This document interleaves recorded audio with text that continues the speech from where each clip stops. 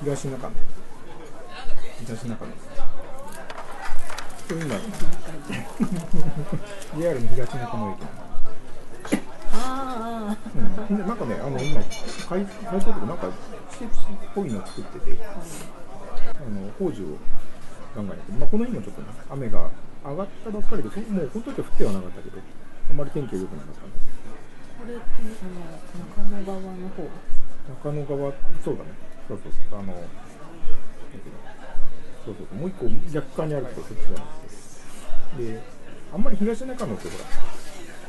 そんなに用事がないと、あんまり行くところではなかったりとかするので、あのまあ、今回いろいろちょっと調べつつ、まあ、これ、これ、ポレポレ東中野、これ有名だけどね。はい前はだっけあ、なんか前違ったな。ああ、ああ、あそうだっけ？う。で、あの、なんかいろいろ映画をやってたけども、まあ、それは映画見てるととね、街が見れないので、ちなみにこの東中野、こう、あの、こっち側の方、こっち側一帯をちょっとまず先に歩いてみたんだけど、で、このポレポレを通りつつ、ここをほら、あのホームから見えるじゃないですか。あのムーンロード。で、まあ別にここの、あの、中で飯食ったり、ここ大体飲み屋さんなので、時間的にはちょっと早いけど、一応中をちょっと散策はしてみたけども、あの、まあ、こういうちっちゃい、こう、狭い路地の、ここの一角だけだけど、昔からの飲み屋さんが、あの、ひしめき合ってる。なんか新宿のあのゴールデン街ともっとなんか、ギュッとしたような感じの、雰囲気もいいところだけど、ここね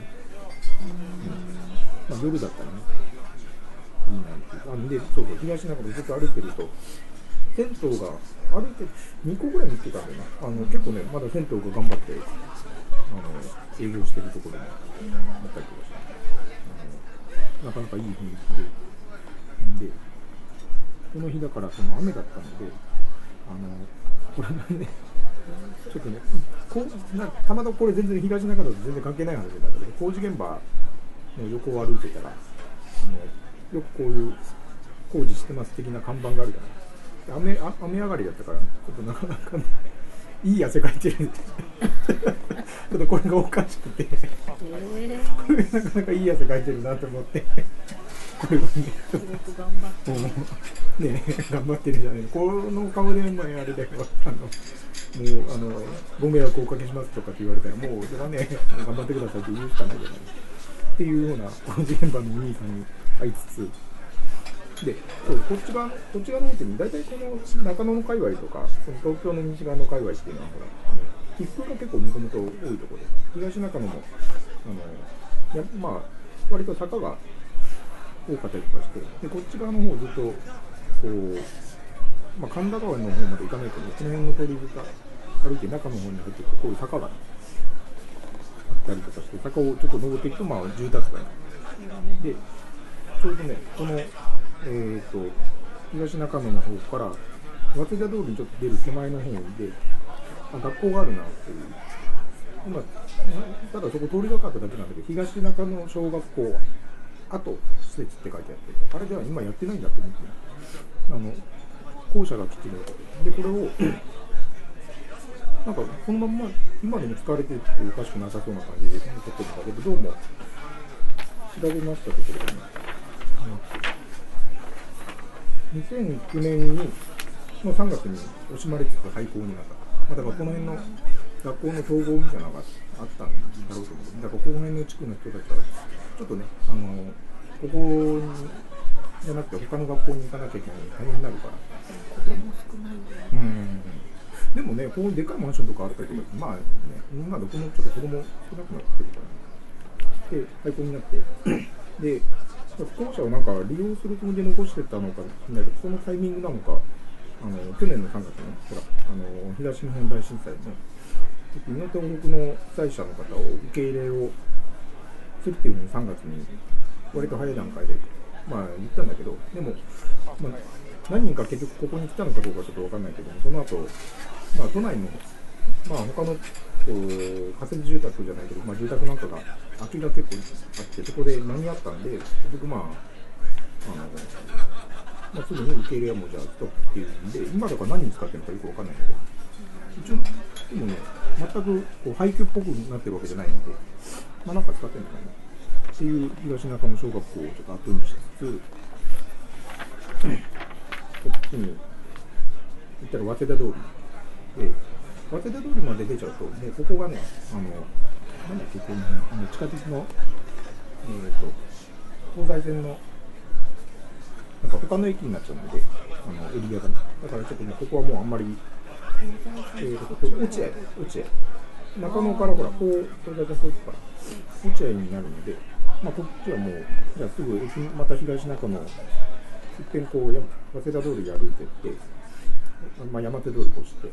で、あの、この商店街に、東中野といえば、商店街。何商店街っていうのちゃんと見てこなかったんだけど、まあ、あ商店街だって思いながら、こ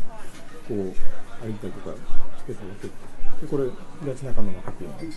ホテルなんだけど、うちのこの白雲はね、なかなかいい白雲。これもちょっとね、あのいい汗かいてるんでしょ、白雲がよく見ると。まあ、こういうとこを通りつつ、これまあ、あのここら辺では有名な、ここが、このシーズン、桜のシーズンになっても桜並木になってて、本当に綺麗だという、こっちが三鷹方向を映してる。桜の前は、うんえっと菜の花が綺麗だと。ああ、そうかそうかそうか。この、こっちの、まあ斜面っていうか、その辺に植わってるんだよね。この桜もなんか、周りの町の人たちが植樹して保存してるようなことが書いてあるんですね。で、結構ね、あの、まあ、ここからちょっと、今度はあの、まあ、南側の方に、を少し歩いてみたんだけど、ちょっと中に入ると割とこういうふうに、あの、まあ、昔からのアパートとか、っていうのが、ね、あったりとかして。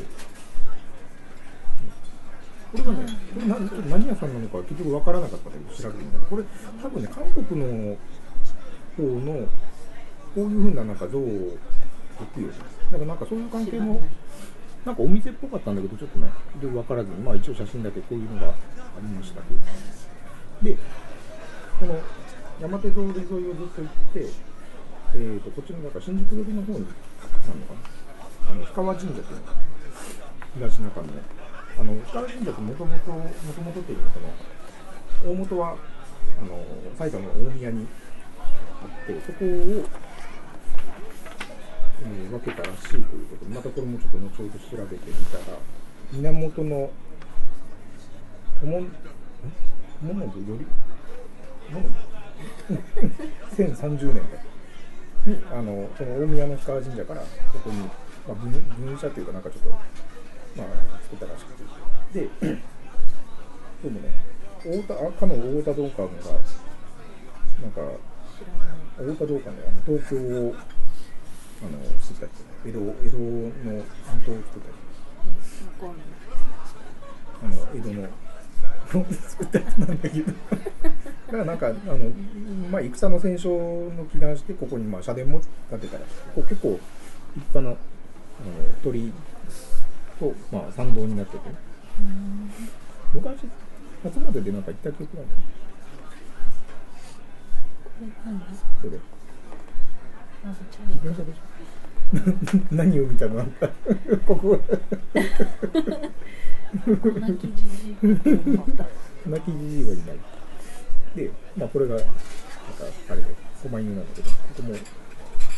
子供を虐げてるやつがいるんだけど、これを抱っこしてるね。これ今は子供を抱っこしてる。わかんない。歯の方はなんか踏んづけてるんだけど。で、まあ、そういうのがありつつ、まあ、割と立派な、あの、お社があって、で、まあ、中野の氷川神社、まあ、いろいろこう書いてある。あの、あそうそうあの大森会館の時もそうだったんだけど、まあ、この町に行くと、大概こう、神社とか、金樹の森っていうのがあって、そこ行くと大体その、なんとなくこう、町の歴史っていうのもこう、分かることがこう多いので、町の歴史っていうかねこうなんとなく見えることがあるんです。そこは割と行くようにしてるけどこの神社はなんかタヌキが立派なものを持ったタヌキがいたりとかねするわけで。なんかお腹が四角いじうん。ね。で、えーまあこれはまあお稲荷さんの端っこになってっていうところででここを抜けて今度神田川沿いにちょっと歩いてみた神田川歌にもあった神田川ね。でここら辺が割とこうほらあの JR の電車で乗ってもこうちょっと谷っぽくなってて開けて割と開けて神田川から見るとこう新宿の高層ビルがこうすごくよく見えるっていうこうだから低いんだね湖面がね。で神田川があって高速で多分これもね桜だと思うからこの時期になると確かここ神田川とかも結構な桜並木があったような。この手前で、うん。あの電車通ってるとこ？こっちが線路ね。手前のず違うずっと手前だけど、うんああ川沿いになんかピンクだったのそうそうそう。春はねなかなかいいとこ。こういうふうにあの一望できるっていう。っていうのを過ぎてで、えーとまたちょっと今度はえーとさっきの氷川神社がそんな遠くないところにやっぱりちっちゃいあのお社があっておっと思って行ってみたんだけどうん第六天神社っていう結局あんまり情報がなかったんでよくわからなかったんですけどもあの第六天神社っていうのがあのどこで切れてんのか上与七代のそのイザナギイザナミさんのたちのあの代のその上与七代って言われてる神様のあのその第6代目のあのイザナギさんとかが第7代目でその1代上の第6代目のえっ、と神様を祀る神社っていうのが結構割に点在してるらしくてそのうちの一つらしいんですね。でこれねあの賢いのみことそうそう、おも、おも、おもたるのみこと、おもだるっていう、ふうに読むらしいけど、このおもたるのみことっていうのも、かし、かしこのみことっていうのが、その第六、六番目の神様で、あの、なん。か神道で言うとそういう第六番目で、仏教ではなん。か第六天魔王っていう、なん。か扱いにもなるらしいっていう、そういう神様を、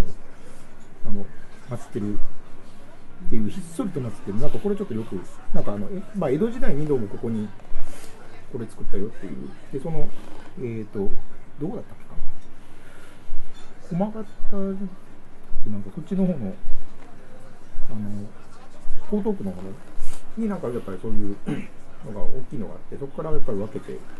っちに来ましたよっていうのがあって。でここもね、ま、隣がもうこれマンションの敷地なんじゃないのっていうのはだまあ後からもちろんマンション建てるんだろうからこれを残したんだけどでこういうのがひっそりとあってで梅の花がちょっとちょろっとね咲いてるこういうところが割とねこういうひっそりとこうだから昔はねあのここも鎮守の森だったんだけども、まあ、こうやって残してあるんだっていうのがあってで意外にここのあの東中野もだからあのちょっと裏に入るとこういう狭い道なんかが結構あって、まあ、路地っぽいようなとこをちょっとずっと歩きつつ最後はなんかこんな手作り階段みたいな感じのとこを上がると大きい大きい道に出る。ここはねなんかねうん風情があるところだで、えー